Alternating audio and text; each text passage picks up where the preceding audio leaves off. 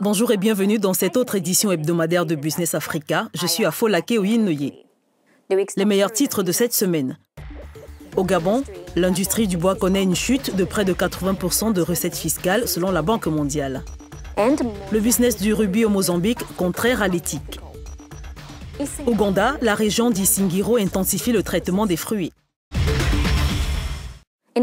Dans le but d'encourager la production de matériaux issus du bois local, le Gabon s'attaque à l'abattage illégal. Le pays a interdit l'exportation de bois brut depuis 2010. Six ans après, la Banque mondiale fait une évaluation de cette mesure. Quel impact sur l'économie?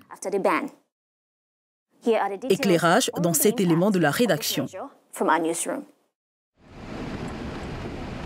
C'est l'un des 100 patrons opérant dans la transformation du bois au Gabon il faut dire qu'aujourd'hui, dans le pays, ce marché est plus que prometteur. Élément déclencheur, le 15 mai 2010, lorsque le gouvernement gabonais décide d'interdire l'exportation du bois non transformé. Objectif, favoriser l'installation d'une industrie locale du bois et permettre au Gabon d'exporter des produits transformés et pas simplement de la matière première. Une récente étude de la Banque mondiale rendue publique en mars dévoile les acquis et les défis de la filière après le lancement du processus d'industrialisation du bois. Elle montre que la participation au PIB de la filière bois s'est accrue.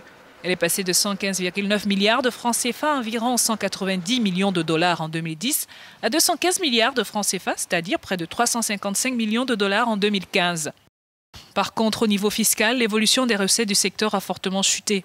On est passé de 40,5 milliards de francs CFA en 2009, près de 650 millions de dollars, à 7,85 milliards de francs CFA, soit un peu plus de 131 millions de dollars de recettes fiscales soit une baisse de près de 80%. Face à la densification du volume de grumes, les unités de transformation de bois ont augmenté.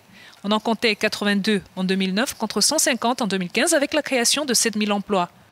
Selon la Banque mondiale, le processus de formation d'une main-d'œuvre qualifiée fortement sollicitée est au point mort et elle préconise un investissement dans la filière. Serge Maurice Pambou est économiste. Il est en ligne depuis Libreville au Gabon et nous apporte plus d'explications sur la question. Bienvenue au programme. Selon vous, quelle appréciation générale peut-on faire après sept ans d'interdiction d'exportation du bois au Gabon?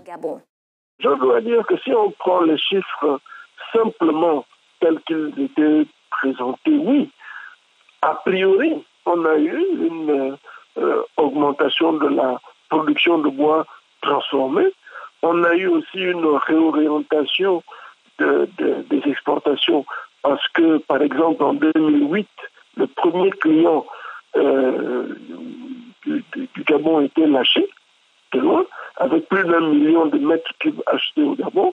En 2012, l'Europe est redevenue le premier client des, des produits de bois gabonais, puisque plus de 40% étaient orientés vers euh, l'Union européenne. Mais le macroéconomiste que je suis ne se contente pas de ces simples allégations. Je vais prendre les choses simplement et vous mettre en parallèle quelques autres éléments.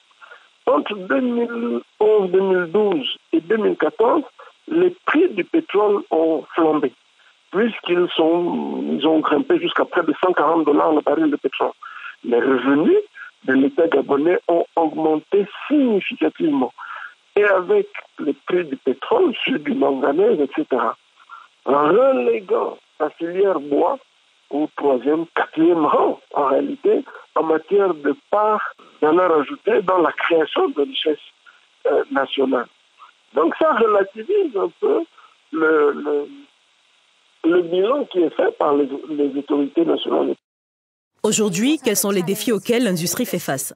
La question aujourd'hui est posée en termes de financement, d'une part, et, d'autre part en termes de qualité des ressources humaines. Nous n'avons pas encore les, ressources humaines appropriées. Et dans la situation actuelle, qui peut permettre de, de faciliter cela? Les banques aujourd'hui, elles sont frileuses. Et elles ont longtemps bénéficié de situations de rente. Euh, euh, euh, pour, le reste, peut-être l'aide de la Banque mondiale, de la Banque africaine de développement, peut permettre effectivement à d'importants acteurs du marché de le faire. Mais ça veut dire que derrière, il faut aussi des infrastructures de communication beaucoup plus importantes que ce que nous avons aujourd'hui et même réhabiliter le chemin de fer qui va jusqu'à à, Franceville, qui n'est pas seulement une seule voie. Donc c'est un travail lourd et rien avec euh, des secteurs connexes qui gagneraient aussi à se développer et comprenez bien que ça ne se fera pas en très peu de temps. Merci pour cet éclairage.